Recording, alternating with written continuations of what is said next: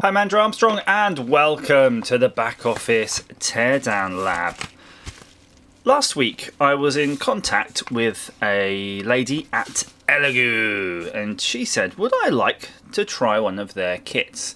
And of course, I said, Naturally, yes! Because I can never resist a, uh, a thing to play with, an electronic kit at that. So uh, it arrived in a nice box from uh, Amazon, wrapped nicely, and this is pretty much what was inside that box. It's a big bubble wrapped bag, and you can say, if the seal on the bubble bag is damaged or peeled off, please reject and do not sign the package, Booble, Booble bag. Um, I'm guessing that's because this would just be shipped straight out like this. I'm going to have to zoom out a bit, aren't I, just so you get a bit more. Um, I, I don't know if that's the way I'd want to ship it, but uh, who am I to judge? They ship how they want to ship it. I think inside the uh, double bagged Amazon case, there's certainly not going to be any damage to this because it's a box within a box. How is that done? Look, that's interesting. I would have thought when you peel the top, the bubble wrap would have come with it, but it's like all over it. There we go. So I did have a quick look on the internet at this. It's a basically an Arduino board, um, although it's called yeah, I think uh, an Arduino Uno, right? Uh, an Elegoo Uno, and I think it's their R3, which I think is the equivalent. And they've uh, put it inside this nice case with a selection of parts that basically is all you need to get going with an Arduino. And look at that, that is phenomenal. So let's just start with the lid real quick because that's like the box of chocolates. You know, the one that you'd get, you know, some milk tray at Christmas or something, and you're going, mmm, ooh, sound sensor module, I'll have one of them. Gran, would you like a passive buzzer? Ooh, yes. Dad, some LEDs, please, son. Crunch, crunch, crunch. Um, a really nice selection there. Um, it's not a one-to-one by the way. You don't have this many holes uh, slots in your box to put everything. Uh, some of them are bundled together clearly. But let's see what you get. So you get this nice thank you from elegoo.com now I'll just zoom in on that because you're going to want to see that. Just see how it's spelled right? So you elegoo so I guess it stands for electric goo or electronic goo right? Like the glue just glue it all together. But there's a nice little thank you, and I believe they've got a uh, Twitter account and stuff if you need help and things like that. So I'll put that aside. And apparently there's some projects already done on this. So this CD contains all you need. Look, it says PDF, code, and library. So it's pretty much drivers for everything, which that's going to save you an awful lot of time. I'm wondering if I've got time to build something in this video, but I suspect not because we've got a lot to get through. So I'm going to pull up my non-existent sleeves and let's just get cracking. So this is one of those power supply uh, modules for breadboard. And is there a bit of breadboard? Somewhere, somewhere, searching. There is, and it's boxed. Woohoo! My gosh, it's like you got to dig down to that. We'll get to that later, but yeah, that's the power supply for the breadboard. It takes a look up to 12 volts in, and it's got two onboard regulators giving you a 5 volts and a 3v3 regulated um, output, and you can see that's on the pins there that clip straight into your breadboard power rails and you're good to go. So those are actually pretty handy. I've got quite a lot of them and sometimes I abuse these and use these in other projects so they are darn useful. And then digging a little bit further in the same slot. Oh my word, is that what I think it is? Oh, I'm gonna I'm gonna open these as I go along. There's no point keeping these in the packs, is there? I've got to I've got to make something out of this at some point. Right, so we have VCC ground, DIN, CS, chip select, and clock. DIN, DIN, data in, chip select. I wonder what bus that is. But that's a Max 7219 apparently. A Max 712 7219 dot matrix module. So that's interesting if that's an addressable module. That's quite fun, isn't it? You could put some more sorts of pictures and stuff on that. Again, I suspect there's drivers for that if it's included. Power supply, we don't need to open that. You know what? Oh, sorry. Power supply, we know what one of those looks like. We won't bother going into that. So what have we got here then? A uh, some sort of sound module. I'm gonna I'm gonna refer to the card actually. So this is a sound sensor module. I think I had a kit which had something similar. It was more or less to make this. It was like a make your own one. Never really worked. This one looks better. It's got an IC on it, and I guess that adjusts the level, and then that'll trigger. Um, plus AO. Hmm don't know what that is. And you've got LED 1 and LED, LED 2. Is it normally open and a normally closed on that perhaps? So that's interesting. So you can have a, a positive switch or a negative switch on there. Chuck that into the slot. Oh, it is like Christmas Day. This would be a great present, by the way. If you remember those um, old old school electronic kits where you used to have uh, everything with all the wires and the little jumper leads, this is the modern equivalent, and it's so high tech in comparison, isn't it? I'm a little bit worried now. I'm unwrapping these and I'm going to be shoving these back in. This thing has a battery. I'm wondering if it's going to short something out, but I'll... I think it'll be okay. I'll put it in carefully. And this looks like a real-time clock module. Indeed it is, because it's a DS1307 module. what my brain is at today. And you can see it's using uh, SDA, SCL, S SQW. What's SQW? It looks like a SPI bus device to me, but I could be wrong. And then there's your little lithium battery uh, to keep the uh, retain the time in the clock. That's so useful. For I'll give you an example. I want to make a real-time clock for my Atari ST, maybe as a kit for other people, and uh, I want to choose the IC instantly I'm going to test it with this aren't I? And if this works that's my IC so this is a really good kit for people who want to develop things right? Because you've got basically a grab bag of everything you might ever need. You know look you've got just a regular motor there. Remember the old school motors that we've had from Day Dot? Um, I think it's 3 to 6 volts if I remember correctly from the specs so you can drive that. You can probably uh, pulse width modulate it or adjust it on the potentiometer its speed so some seven segments display. These are pretty much direct drive. Look at that. So you'll recognise, or you'll recognise and notice that they've got more or less similar numbers of pins on things like that, and that's because these are multiplex. So that's really good fun on a microcontroller. I've I've used so many of these in the past, and they're really fun to to address because you want to do a sort of a minimum component build on this sort of four-digit seven segment display with decimal point of course. And uh, you come up with all different ways of you know pulsing them and you don't want to um, necessarily use extra resistors. You try to avoid using resistors. You come up with maybe an algorithm so you don't get some brighter than others if you are um, driving them with different patterns on the screen. There's all sorts of tricks to do there. You have a 10 amp relay here and what's its voltage here? It's a 5 volt relay so it's quite low voltage.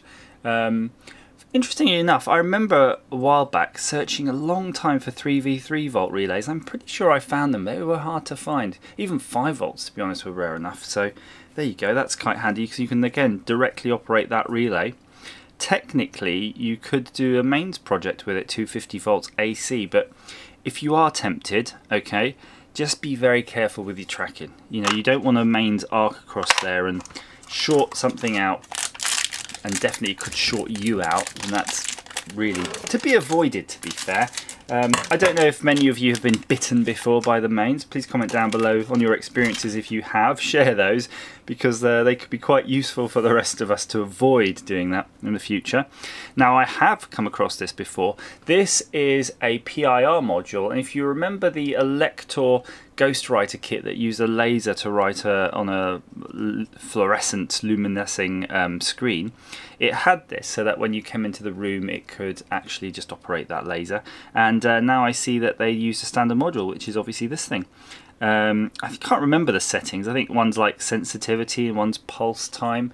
And I don't know what these were for. It was if, if you had, perhaps it had to, to read a couple of times before it would trigger or something. But look at that, that's what they look like under the hood. I actually threw out a, uh, a module recently I couldn't get working. I could see that device, but as far as I was aware, there was no way to do anything with it. In fact, looking at that, though, it's got, it was a bit dirty. It looks like someone's already been heavily thumbing that, other than me. So, um, there you go. Have you noticed the weird thing with these if spiders get on them? Don't know why spiders activate these so readily. You think, uh, you think a spider's not got much thermal mass? So next one, ah, this is really cool. This is the DHT11 temperature and humidity module. Can't tell you what bus it's using. It's not it's not really indicated at all on the pins, but I guess it is a slight module. And you see it's got this little uh, can on there to stop you touching the uh, face of the sensor. But looking through the window, uh, I don't know if you can have a look as well. We can try. You can see in there there's a gold coloured thing. Mm, it does look like it's actually got decent stuff. You know, like that's a almost like a CCD-ish looking thing rather than just you know a bit of black epoxy. So there's some real sensy stuff in there. I think this can live with the PIR. I'm i am going to break the uh, break the layout of the kit now as I go along. Oh, very nice, very nice indeed. You're going to like these. Not a lot, but you'll like them. So, first one, I'm going to put that there. First one is a um, rotatory switch, a rotatey switch. I'm really, I'm really like calling it by the right things today, aren't I? You know, it's it basically you can rotate that. It's a rotary encoder, and then when you push that, it clicks. So that's your push button. So you've got a nice action there and you can probably use that for a volume control, a digital. When I say volume control, digital, or you could just use it as a sort of general input as you're twitching it. You know, maybe you're driving a pulse width modulator out, and then you want to set the setting. Ding. So you could just so twist it. Yep, that's the setting. Now, I think if you've got uh, one of the say Anycubic 3D printers, there's a rotary knob on it, and I would be pretty darn sure it's this. And not only that, on the firmware on my one, it's a bit glitchy, like sometimes it skips over the thing I want. So you could actually use this and program it up and uh, discover why they've done it so badly and then you can tell me why. Um, this is a nice simple one. This is an infrared receiver. I'm not even going to zoom in. You know what they look like. You've got them uh, on your TVs and they look exactly like the ones on the end of your TV remote control. And that brings me on to this other part of the box, which we'll go and again investigate in a bit more detail in a moment. But yeah, it clearly has a remote control there, an infrared remote control. Very cool. Right, I feel I've done this section now. Let's jump back down here again. We've got some of the, the main event stuff going to tear this open, rip it open, and this is the Elegoo Arduino clone, I'd like to say. Um, I actually do have an Arduino here um, we can look at. Let's have a look. This is a Mega, this is an Uno. Let's have a look to see how it compares to a regular Arduino Uno. And to be honest with you, one, it looks better in terms of better made. There's a nicer PCB finish. Uh, yeah, I can zoom in a little bit more for you. Um, but it also looks as an, an, entire like copy, like totally like a clone of it in every way. Um, it's the same Atmel chip, the same main processor, the same 16 megahertz clock, the same components. So it should be entirely compatible in every single way. You really don't get a closer closer board. Um, again, it says open source electronics, so I don't think they've nicked it. Do you know what I mean? It's just their version of the same board. I'm not trying to cast a dispersion on Elegoo. It's just this is what people do. Um, and that's cool. I mean, a lot of people uh, ask me, because I do a lot of projects with my own boards that I make myself, why don't I use Arduinos? They've got their own limitations, and I tend to try to do projects for production where using an Arduino may not be the most appropriate thing. But in terms of the uh, learning platform, I think they're really good. You have a pretty good um, set of software and drivers that you can download and use for them. My gripe with them, I, I do have a fairly big gripe, and that's in debugging. I've never, I've done some quite complicated projects, and then when they kind of stop working, when they when they stop working, they become impossible for me to debug. So uh, you can tell me where I'm going wrong on that one. I'll put that just aside here because we're going to go deeper then. Pack of resistors, uh, lots of, uh, it's 120 pieces apparently and it looks like there's several values. This is something I might keep in the bag. You can see you've got some 220 ohms, 330, 100, 5k, 1 meg, 10k, 100k, 10 ohms. So yeah, just standard values. Useful. Useful for pull-ups, pull-downs, that sort of thing. Wow, this is a great kit. I tell you what, I um, I've been trying to sort out some of my own like random electronics lying around. I'll tell you why. This is useful. I've got stuff like this all over the place, right? Where it's just a container full of packs of resistors um, that won't really go in a resistor book. Um, and a big box full of loose resistors because I kind of I tried to switch to um, surface mount for that reason but you still end up needing those through holes. So that's a pretty good selection for pull-ups and pull-downs. A nice little uh, matrix pad. Interestingly enough I'm not sure how you would connect that. Is that anything we covered yet so far? No. We'll go through and see the rest of it but hmm. I, I guess you could just use pin headers on that one but There'll be an interfacing solution for that, I'm sure. Activate. Quite cute, isn't it? Make your own security system.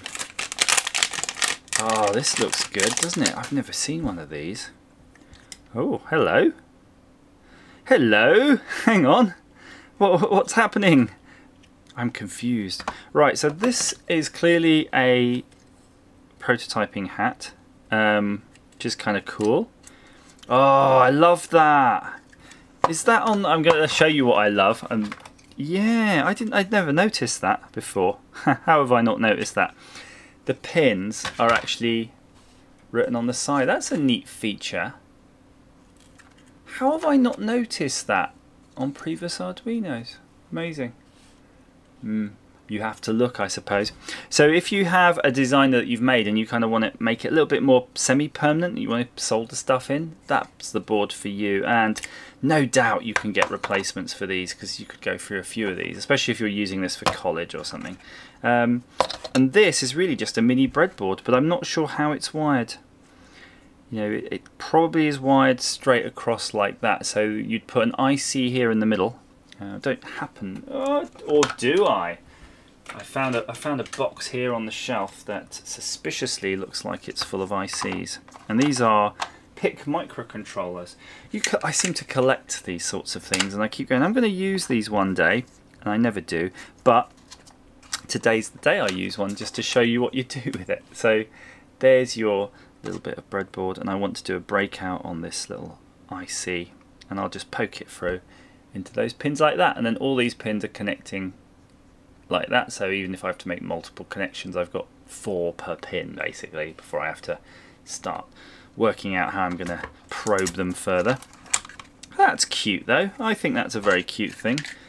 Remind me to do something with these later. And then you've got the bigger breadboard which is a monster. Well, monster in comparison, I mean it's pretty standard. Um, it feels good quality. Yeah, it is a good quality one. It's actually got the power rails. You see there, they can actually unclip. they they've got these little uh, nubbins inside, so they slide in to clip in and clip out of each other. So that's handy, and it's heavy. That's a good sign actually. Solderless breadboard very useful. And if you don't know uh, what solderless breadboard, it's really simple. So you take any of these modules we are playing with.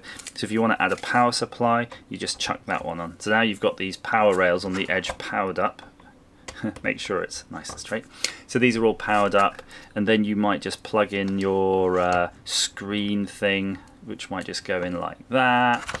And then you'd have your Arduino, uh, your R, your Uno, um, and then you'd use something else. I'll just jump ahead and show you these types of wires to just interface between these pins and those pins, and then you've got your thing. You've got your gadge. You've got your gadge running.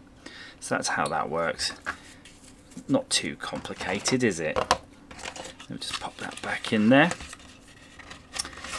Oh, I'm, I'm quite hot today. It's uh, one of those hot days in the UK. We don't get them very often, but when we do, they hit hard, and uh, we've been suffering, I can tell you. We have been suffering. So let's continue on now. So we've covered that now. The whole bottom row, we're really winning now. We're, we're in it to win it. Just seeing how this all fits. That all, you know, I just chucked it all back in the box, and it fit pretty nicely, so I'm pretty pleased with that. Impressed. So let's see what we've got here. We've got a nice little uh, fan blade. That'll go on our motor we saw and it's a safety fan it's not gonna hurt you. But maybe in this weather though having that puffing at my face would have been quite good and I could have used a little variable resistor or something of which I see in this little mini case. That's cute. So we have a case within a case and something I want to mention about this big case is look it's actually a proper molded case. It's not got you know dividers that you can adjust, which they seem like a good idea that they're a pain because what happens with them, the dividers move and all of your components just swish about. Um, this one does look like one of those ones with movable dividers and the components have swished about a bit, but I'm going to forgive it because it's just in transit. So let's see, we've got a nice selection of LEDs. We've got some diodes in there. Another LED that's obviously escaped. Ah, hang on. It hasn't escaped. It's got three legs. That's a, uh, well, four legs. That's a, I was going to say at least a three color LED, but maybe it's got more. Wow, look at the length of the legs. So you've got your cathode, your anode 1, anode 2, anode 3. I don't know how that works. You've got your light dependent resistors. In fact, let's get our tweezers out so we can get those out. So you've got your light, your LDRs, that's what we call those. Uh, some electrolytic capacitors. Um, these might be white LEDs or they might be infrared. I know that there's going to be a selection here of infrared LEDs. Um, I've never seen them with a white dome, to be fair, so uh, I don't know. Take it with a pinch of salt what I'm saying on here. Uh, I think these are temperature. Oh, there's just different things here. So you've got a selection, there's transistors, and I think there is definitely a temperature uh, IC in there. I have seen that, analog temperature IC. Um, there, among all this, by the way, there is a tilt ball switch. Yeah, here it is. Look, hear it. Did you hear that rattling? That's actually a tilt switch. that could be cool for some sort of novel joystick. That looks like a thermistor right there for again detecting uh, temperature. That's definitely a thermistor. And then you've got two buzzers.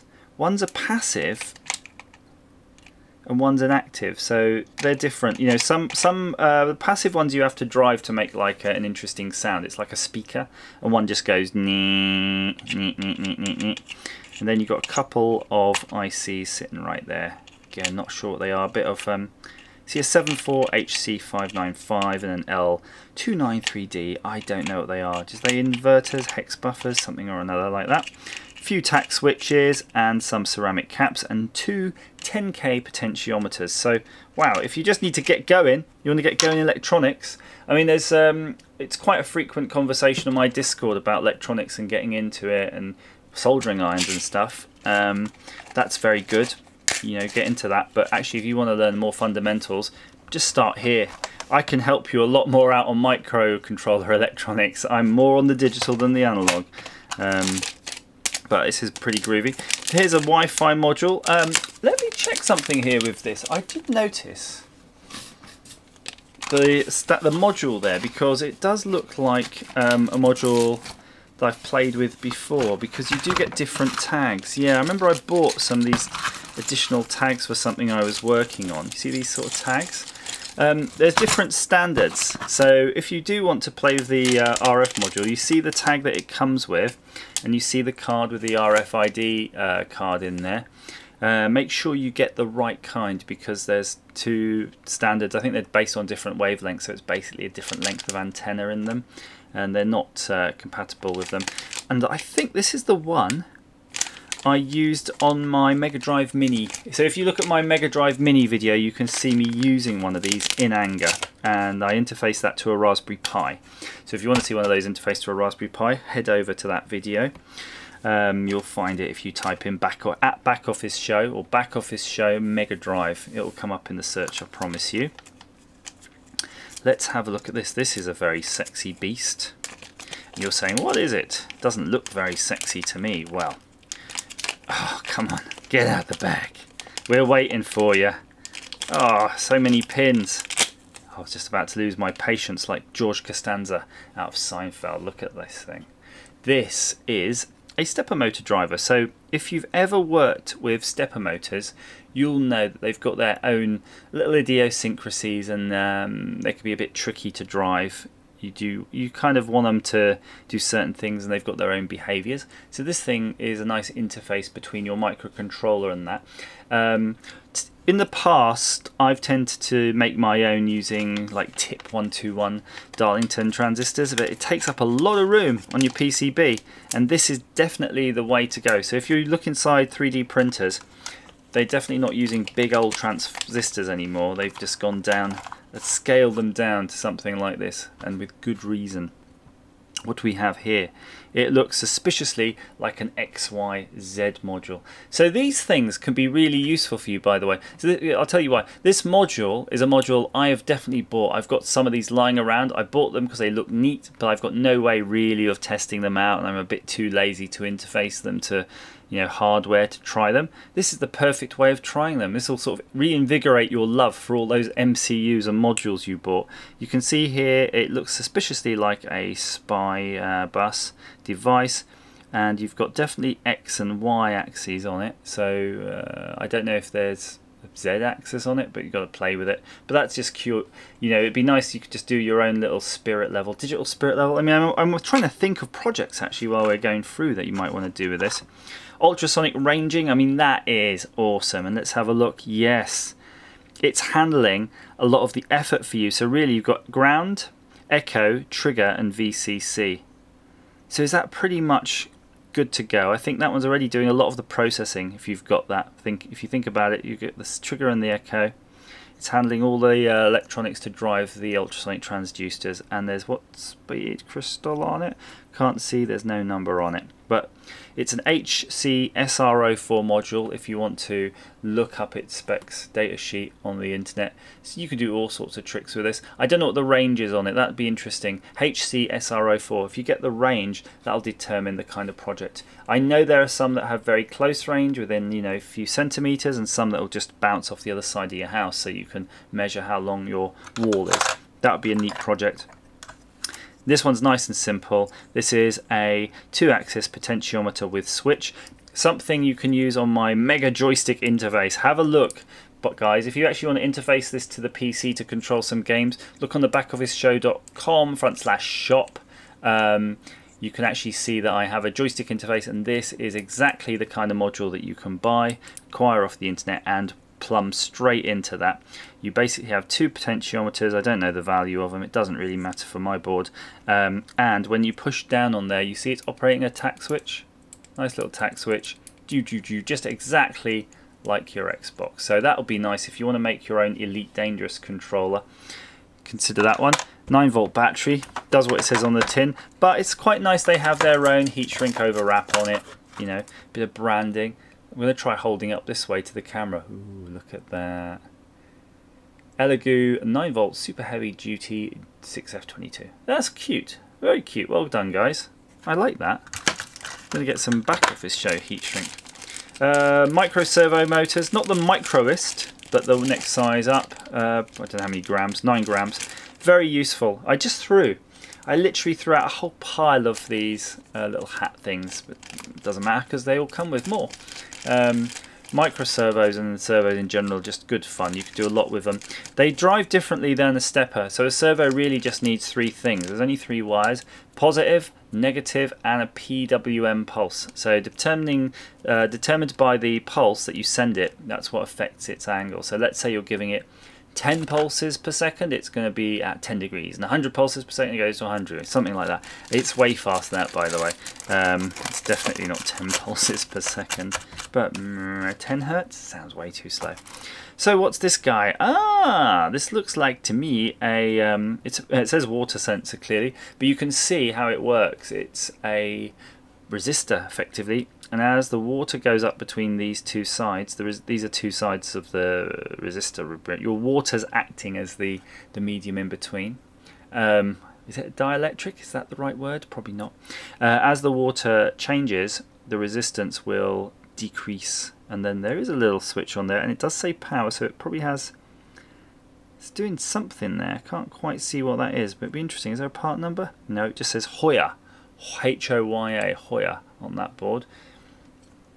I suspect the datasheet for that will be on the CD, as promised. There's the remote control. Pretty neat looking. Again, they've got their own branding on it. They, these guys are going to town. Um, hopefully it's got a battery. Yes, it's got the plastic tab. Good to go, really. Not much to say about that. You can program these any which way you want on your Arduino, so you can use that to control your projects, or just use it as a controller. Make maybe make a little robot or something. Ah, oh, I'm so glad it's got one of these because I've got loads of these lying around again that I've been too lazy to interface with.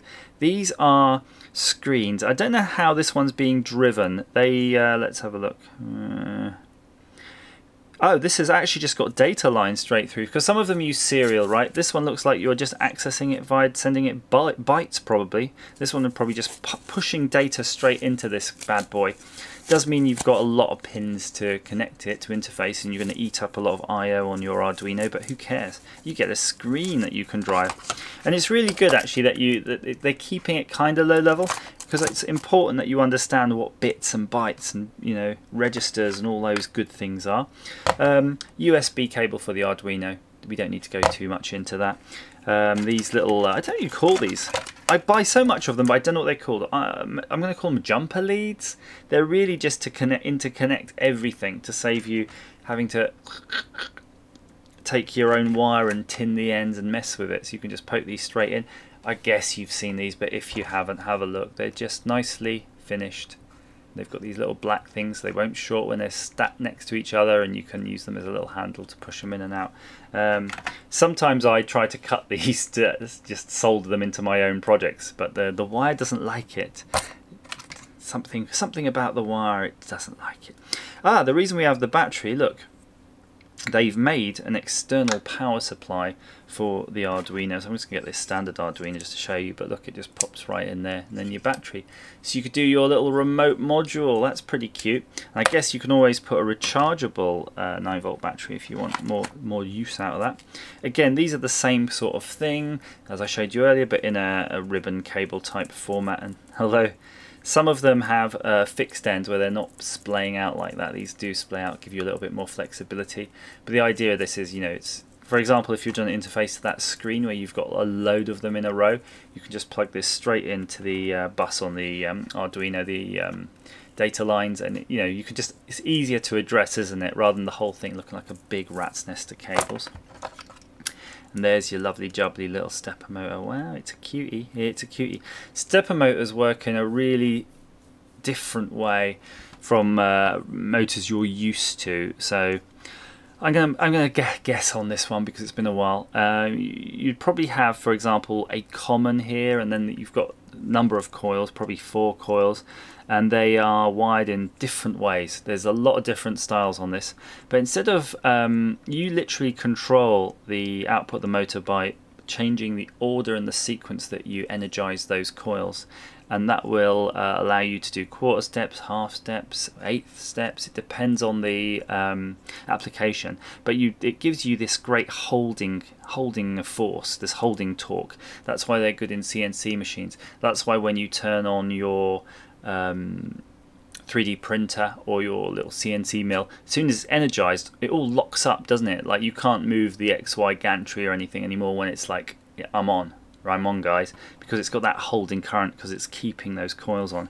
This thing, though, actually is a geared one, so you can tell because it's offset like that. I can give you another example that you might be familiar with if you've got plumbing controls and things in your house. These are synchros. These are something, you know, a very similar thing, but this is a more traditional AC motor because it's controlled by the mains, but you can see it's geared. And I can show you in this example, there's no way I can turn that knob, and you probably definitely won't be able to turn that either. So that's nice because that means it has a lot of power it's generating a lot of power with quite small wires. It doesn't probably use a massive amount of current, but it can once it turns something, because it's doing, maybe this is spinning around 10 times and that thing's spinning around once, it might be a 10 to 1 ratio, it can move something big.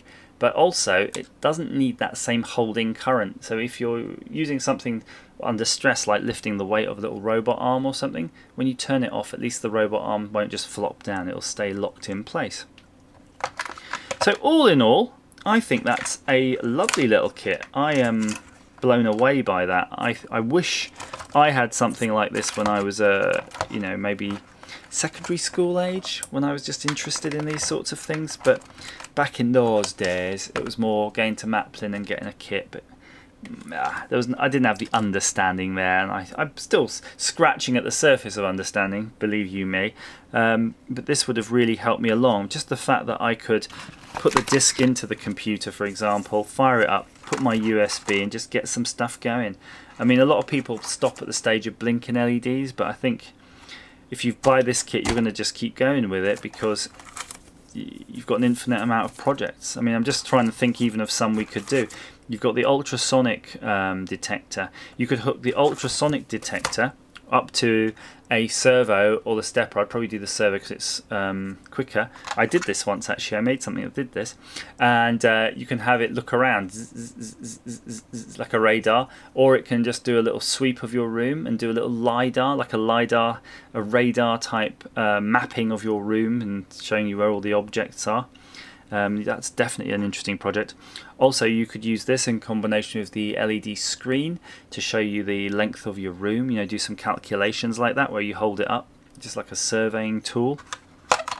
Oh, it's it's kind of um, just think there's so much because if you're doing that, why don't you add the buzzer so you can hear it beeping like did did did did did did did did, you know like a reversing sensor. So depending on the uh, distance involved, it has a different uh, time space ratio, mark space ratio. You could choose the settings on it using the rotary encoder. Uh, I don't know if there's an application for the clock, but if you've got the rotary encoder and a nice menu going on, why don't you put a clock on it too and then have that and have it save the uh, every time you could save the setting and it would um, date stamp it. So it's as if you were like an estate agent or something and you went out on a survey and it would have all the times and dates when you went out when you were doing your little snapshots. Um, we're, kind of building up this really awesome tool just from one one little discussion you know. This thing obviously joystick and input. Really interesting UI for input. Very interesting you know if you've got 3d printing capabilities you can make a nice box with nice security things. You've got the relay. Where do we see that? There was a relay in here. Uh, you know relay operated lock. No brainer that's actually a really easy one to do you can just do that right away you could also have an infrared thing so that you could put in the same code via infrared too. That would work nicely and maybe even a screen that says if you have got it set right and you're accessing it who knows. If you've got the um, stepper motor set up, you could make your little infrared box. Maybe, I'm going to say a cigar box, but I think you're probably too young to know what a cigar box is, but any kind of wooden box. You could put this in a, a little wooden box with a lid, and on this you could make a little arm a little lever that moves up and down and that just really locks you know you could have that as a locking mechanism that just pulls a latch over or something. Um, make a really cool uh, box that you need to you know put a code in to operate. But if you're going to do that I would do two other things. You've got an RFID thing as part of your little fancy security box. But what's cute in there do you remember there was a sensor that detect if you uh, move it? Um, that thing, the uh, what was it called, the ball switch, a little switch. So you could have it that this thing stays asleep. The box stays asleep until you pick it up, and then it could uh, alert you. Maybe you put the motor in and it vibrates to tell you it's now waiting for a code. All sorts of stuff. My gosh. Toys, games. Make your own desk fan to keep cool in this British summer. The world is your oyster, and uh, I'm sure keep watching the channel because we're going to be uh, covering more of this. So yeah, make sure you like, share, subscribe, um, jump on the Discord because we're definitely going to be covering projects using this kit. So if you want details of that kit, just ping me or look in the description. We'll get you those so that you can uh, jump on. Um, I don't know now if I'm going to get out my 500 in one electronics kit anymore because for me it's all about the microcontroller and those 501 electronics kits cover a lot of analog stuff that if you're a programmer you're more into this side of things because you don't have to think too much about the electronics. Mm. anyway what do you think of this kit guys? Is this something that will float your boat? Would you be very interested in getting something like this? Um, do you think that you do if you do commercial prototyping and things I, would that be useful to you in the industrial workplace? I kind of my gut feeling says it's always nice to have one of these sitting on a shelf but you tell me. Um, uh, and tell Elegoo just go uh, find them on Twitter or something and uh, let them know your opinion on this. Um, say I, I sent you Andrew did a very bad job of uh, telling us about your product and he didn't even make something um, but he realized it was a 40 minute video. So there we go. So there you go everybody. Thank you so much for watching. Thanks to all my patrons. They're going to come up right now and I'm going to see you again on the next episode of the back office show. Bye bye